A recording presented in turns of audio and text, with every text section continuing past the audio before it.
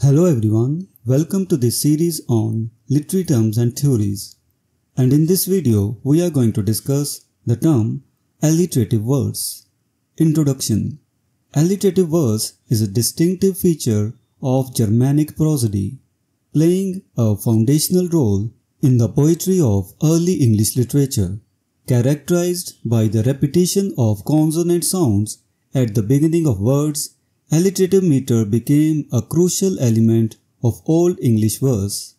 This video explores the evolution of alliterative verse from its origins in Old English through its transformations in Middle English, its decline in the Tudor period, its revival in the 19th century, and its continued presence in modern poetry.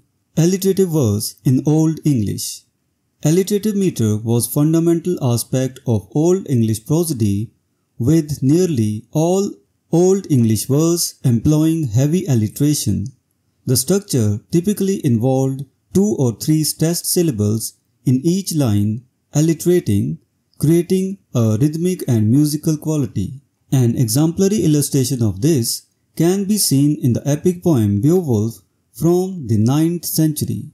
Beowulf employs the traditional use of alliteration which helped to bind the verse together and enhance its oral recitation. Evolution of alliterative verse As time progressed, the systematic patterns of alliterative verse began to loosen. By the 14th century, poets were experimenting with variations in alliterative structure. This is evident from William Langland's Piers Plowman. His adherence to strict alliterative patterns is less rigid, indicating a shift in poetic styles and preferences. Alliterative verse in Middle English During the Middle English period, alliterative verse continued to evolve, adapting to new literary contexts. One of the most renowned examples from this period is Sir Gawain and the Green Knight. While the poem maintains the alliterative tradition, it also incorporates more complex and varied patterns, reflecting the changing tastes of literary innovations of the time. Alliterative verse in medieval mystery plays Alliterative verse also found a place in the medieval mystery plays, which were religious dramas performed during the 14th and 15th centuries. An example from the York Mystery Plays, The Harrowing of Hell, demonstrates the rough yet powerful use of alliteration. This usage highlights the enduring appeal of alliteration in conveying dramatic and theological themes. Alliteration in Tudor literature. The use of alliteration saw a decline during the 16th century. However, some poets, notably John Skelton, continued to employ alliterative techniques. William Shakespeare also occasionally used alliteration as seen in Sonnet 30. When to the sessions of sweet silent thought I summon up remembrance of things past.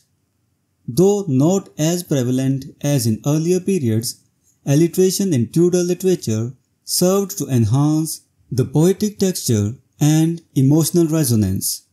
Revival of alliterative verse in the 19th century. The 19th century witnessed a revival of alliterative verse, most notably through the works of G. M. Hopkins. Hopkins experimented extensively with alliterative meter, infusing it with his unique rhythmic innovations. An example from his poem Spring captures his experimental style. Nothing is so beautiful as spring, when weeds in wheels shoot long and lovely and lush. Hopkins's revival of alliteration breathed a new life into the form, influencing future generation of poets. 20th century and beyond. In the 20th century, Ezra Pound made significant contributions to the use of alliterative verse. His 1920 publication Ripostes included a translation of the Old English elegy, The Seafarer, demonstrating his mastery of the form. May I for my own self songs tooth reckon, journey's jargon, How I in harsh days hardship endured oft. Pound's work highlighted the enduring relevance and adaptability of alliterative verse in modern poetry. Modern alliterative verse. Contemporary poets such as Richard Eberhart, C. D. Lewis, and W. H. Auden have also shown mastery of alliterative verse. C. D. Lewis's Flight to Australia is a distinguished example.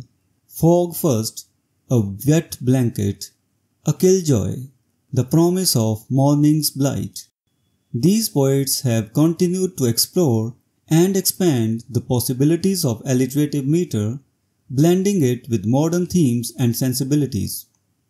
Conclusion The journey of alliterative verse from its origins and Old English through its various transformations highlights its enduring appeal and versatility.